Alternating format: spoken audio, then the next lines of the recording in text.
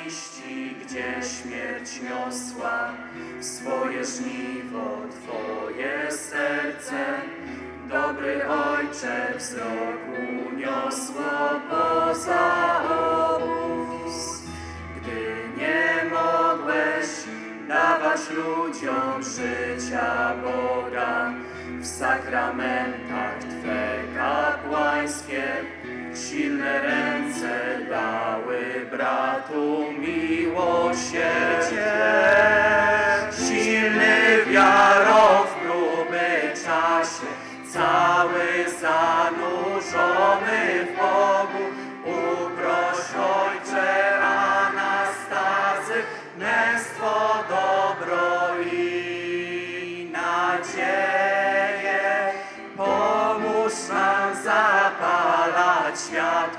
w najciemniejszych miejscach świata, smutnym, pogubionym sercom nieść nadzieję Chrystusową.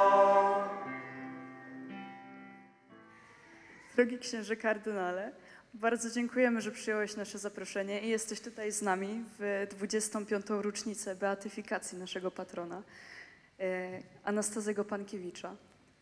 Dziękujemy Ci bardzo za Twoje przybycie i prosimy Cię o komentarz do dzisiejszego Słowa Bożego, abyśmy mogli zrozumieć, co ono do nas mówi e, w świetle właśnie życia Anastazego Pankiewicza. I jeszcze raz dziękujemy, że tutaj przyjechałeś i że chcesz z nami być.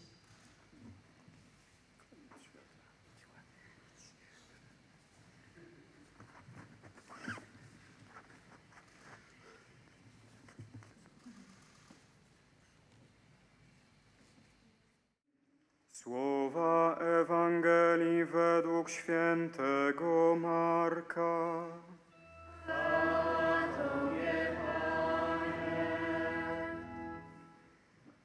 Jezus zaczął mówić w przypowieściach do arcykapłanów uczonych w piśmie i starszych. Pewien człowiek założył winnicę. Otoczył ją murem, wykopał tłocznie i zbudował wieżę. W końcu oddał ją w dzierżawę rolnikom i wyjechał. Gdy nadszedł czas, posłał do rolników sługę, by odebrał od nich należną część plonów winnicy. Ci chwycili go, obili i odprawili z niczym. Wtedy posłał do nich drugiego sługę, lecz i tego zranili w głowę i znieważyli. Posłał jeszcze jednego i tego zabili. I posłał wielu innych, z których jednych obili, drugich pozabijali. Miał jeszcze jednego umiłowanego syna. Posłał go do nich jako ostatniego, bo mówił sobie: Uszanują mojego syna. Lecz owi rolnicy mówili między sobą: To jest dziedzic. Chodźcie, zabijmy go, a dziedzictwo będzie nasze. I chwyciwszy, zabili go i wyrzucili z winnicy. Cóż uczyni właściciel winnicy?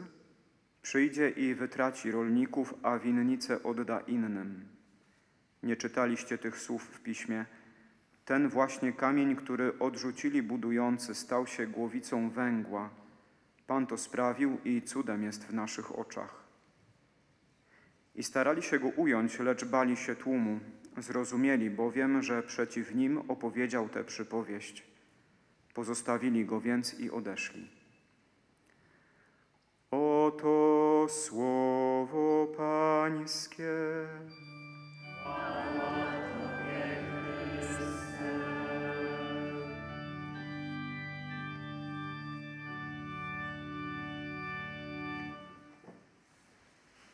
Ada poprosiła, żebym wyjaśnił wam tę przypowieść w odniesieniu do waszego patrona, błogosławionego Anastazego i w odniesieniu do każdej i każdego z was, co ta przypowieść dla was znaczy. Musimy to robić prosto, żeby zrozumieli najstarsi. E, Jak najstarsi zrozumieją, to dzieci też zrozumieją. To w tę stronę funkcjonuje. Trzeba zacząć objaśnienie od pytania, co to jest ta winnica, którą założył pewien człowiek tak, kryje się Pan Bóg. Co to jest ta winnica? Chłopaki, jakiś pomysł? Co jest winnicą Pana Boga? Mhm. Życie? A może jeszcze inaczej? Tak. Ktoś ma jakiś pomysł? Winnicą Pana Boga jest lud Boży. Tu siedzi winnica Pana Boga. Prorok Izajasz to jest historia oparta o proroka Izajasza. Mówi, winnicą Pana jest dom e, Izraela. Jest dom Izraela. Lud wybrany, lud Boży. To jest winnica. Czyli tu jest winnica Pana Boga. Od najmłodszych po najstarszych. Jak w winnicy są starsze krzaki, młodsze krzaki. Krzaki mają owocować, że rodzić e, winogrona, potem z tego się robi wino i wszyscy są szczęśliwi na świecie. Dobrze, wiemy już, co to jest winnica. A kto to są ci rolnicy, którzy mają odpowiadać za winnicę, mają ją uprawiać? Kto to są ci rolnicy? Księża. Tak czułem, że mnie będziesz wkopywał. Czy tylko księża są e, rolnikami winnicy Pana Boga?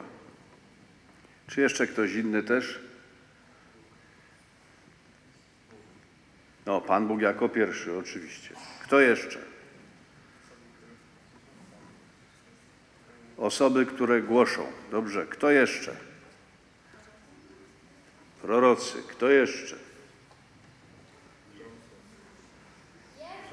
Wierzący. Wszyscy. Każdemu Pan Bóg zawierza swój lud, każdemu Pan Bóg zawierza swój Kościół. Jak was tutaj jest tyle, ile was jest, od najmłodszych do najstarszych, wszystkim Pan Bóg mówi: Chciałbym, żeby Ci zależało na moim Kościele. Chciałbym, żeby Ci zależało na całej wspólnocie. Chciałbym, żebyś się czuł odpowiedzialny za innych. Tak, nie ma nikogo, kto nie byłby przez Pana Boga zaproszony do takiej troski o wszystkich, troski o całą wspólnotę. Jest takie zdanie bardzo mądre Soboru Watykańskiego II, teraz mówimy do najstarszych. Sobór napisał tak: Spodobało się Bogu zbawiać ludzi nie pojedynczo, ale we wspólnocie. Tak? Spodobało się Bogu zbawiać ludzi nie pojedynczo. Każdy chce być zbawiony, to Pan Bóg nie zbawia nas każdego osobno, tylko we wspólnocie. Tak? Prowadzi nas do, do e, nieba we wspólnocie, razem. W taki sposób, że razem za siebie odpowiadamy. Razem powinno nam na sobie zależeć. Nie jest mi obojętne, jaki jest los tego, który jest obok mnie. Nie jest mi obojętne. Pomagamy sobie nawzajem. Żyjemy dla siebie nawzajem. Jak to się ma do waszego patrona? Ja myślę, że najlepiej to widać y, w zakończeniu jego życia. Myślę, że wiecie to lepiej ode mnie, bo to jest wasz patron. Ale ja odkąd to przeczytałem, nie mogę się z tego obrazu jakoś wyzwolić i otrząsnąć. Z tego właściwie ostatniego momentu w życiu, kiedy już z obozu koncentracyjnego w Dachau wieziono go na śmierć i wiedział o tym, że jedzie na śmierć. I jak dobrze wiecie, wyciągnął ręce z ciężarówki, żeby pomóc wejść więźniowi, który nie potrafił, nie? chciał mu pomóc. I zaczaśnięto klapę ciężarówki tak, że obcięto mu obie dłonie. Od, odkąd to przeczytałem, mam ten obraz przed oczami, nie potrafię od niego jakoś uciec. Nie? Te wyciągnięte dłonie do pomocy. W sytuacji, kiedy wiozą cię na śmierć, masz prawo myśleć o sobie. Masz prawo oczekiwać, że wszyscy się będą nad tobą litować. Doszedłeś już do końca. I w tym ostatnim momencie życia jeszcze wyciągasz ręce, żeby komuś pomóc. I robisz to w takim świecie, tak jak śpiewaliście na początku w tym pięknym hymnie. Robisz to w takim świecie, którym wszyscy raczej uczą nienawiści niż miłości. Ty, nikt tego Twojego czynu nie pochwali. Właśnie skończył się tak, że te ręce, którymi chcesz innym pomagać, ktoś ci je utnie w sposób brutalny. Ty zostaniesz z tymi pokrwawionymi dłońmi, dlatego że chciałeś pomóc, że byłeś dla innych. Nie? Że byłeś dla innych. Zobaczcie, to nie jest oczywiste, to jest coś, co trzeba wybrać, bo ta przypowieść pokazuje ludzi, którzy nie chcą być odpowiedzialni za wspólnotę. Tylko od początku do końca zajęci są wyłącznie sobą. I owszem, gotowi są innych ranić, opluć, wyrzucić, jeśli trzeba, to zabić żeby tylko przechwycić wszystko dla siebie, dla siebie, dla siebie. I to jest wybór, przed którym nam, nas stawia ta Ewangelia. Albo jesteś tym, który żyje dla innych, albo jesteś tym, który żyje wyłącznie dla siebie za cenę szczęścia innych nie, za cenę szczęścia innych. Tak jak mam przed oczami dłonie błogosławionego Anastazego, tak mam też w głowie taką historię, którą opowiadał mi łodzianin, e, pan, który przeżył obóz koncentracyjny w Auschwitz. Pan się nazywa Marian Turski, możeście słyszeli o nim. To jest jeden z bardziej znanych łodzian. I y, on trafił do obozu koncentracyjnego w Auschwitz jako bardzo młody chłopak, ale już wtedy nosił okulary dość mocne. I kiedy przywieziono go, tak jak wszystkich innych więźniów, do Auschwitz e, w bydlęcym wagonie kolejowym, jak wyskakiwał z tego wagonu, to okulary mu spadły. I natychmiast zostały podeptane przez ludzi, którzy wyskakiwali za nim. Więc on pierwszego dnia w obozie stał się człowiekiem niewidzącym. Niewidzącym. To oznaczało, że zostanie zabity. Tak jak wasz ojciec Anastazy, jak go uznano za Y, inwalidę w 60 roku życia, to go skazano na śmierć, nie? bo już się nie nadawał do roboty. No to go skazano na zagazowanie. No i tak samo panu Marionowi groziła śmierć od samego początku, kiedy tylko znalazł się w obozie. Nie widzisz, nie nadajesz się do pracy, zostaniesz za chwilę zabity. I wiecie, co zrobili jego koledzy? kupili mu nowe okulary. W obozie koncentracyjnym był taki rodzaj bazaru, gdzie można było wszystko kupić, ale ceną był chleb.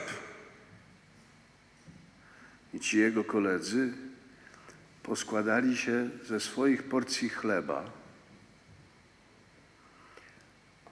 ze swoich porcji chleba, żeby on mógł mieć okulary, widzieć i przeżyć. Więc wy o tym słuchacie tak spokojnie, ale namawiam, zwłaszcza starszych, młodszych na razie na to nie namawiam, żeby przeczytać taką książkę pod tytułem Sny obozowe. Jest taka książka oparta o wspomnienia ludzi, którzy przeżyli obóz koncentracyjny. Oświęcim, Dachau, inne obozy koncentracyjne. I y, redaktor tej książki zapytał ich, czy im się kiedykolwiek cokolwiek w obozie śniło. O czym śnili w obozie? I absolutna większość tych ludzi mówi, śnił się nam chleb. Nie, nie cukierki, nie pączki. Chleb, bo nie było chleba. I, I wszyscy wiedzieli, że chleb znaczy tyle samo, co życie. Tak. Ci koledzy pana Mariana tak naprawdę oddali spory kawałek swojego życia za to, żeby on mógł nie, mieć okulary, dzięki którym będzie żył dalej w obozie. Nie? I on wiedział, jak nosił te okulary potem na nosie, to wiedział, że ceną tych okularów jest życie jego kolegów. No, to jest właśnie taka postawa, jaka jest błogosławionym Anastazym. Wyciągasz ręce, by pomóc w świecie, w którym ci te ręce utną, bo nikt tego nie rozumie, że chcesz być dla innych.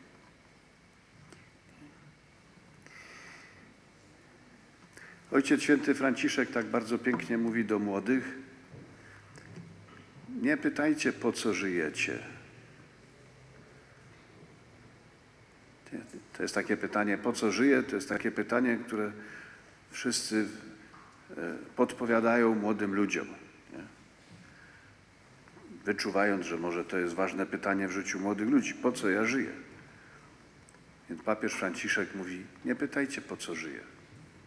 Zapytajcie, dla kogo żyję.